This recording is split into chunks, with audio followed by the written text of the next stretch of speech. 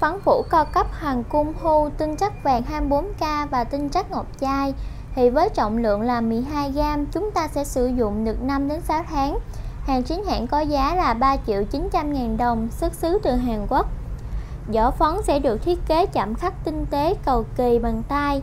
Càng ngắm nhìn càng thấy đẹp và sang trọng. Hạt phấn sẽ được tán mịn từ những thành phần đông y quý hiếm tạo lớp make cúp trong veo và viếng gũ sau các bước dưỡng da, kem lót và kem nền, ta sẽ dùng bông phấn để lấy ra một lượng sản phẩm vừa đủ rồi vỗ nhẹ lên da đến khi đều màu da. Thì đối với sản phẩm này, khi mua chúng ta sẽ được tặng kèm thêm một lõi phấn thay thế. Và ba thỏi son và hai son bóng nhũ.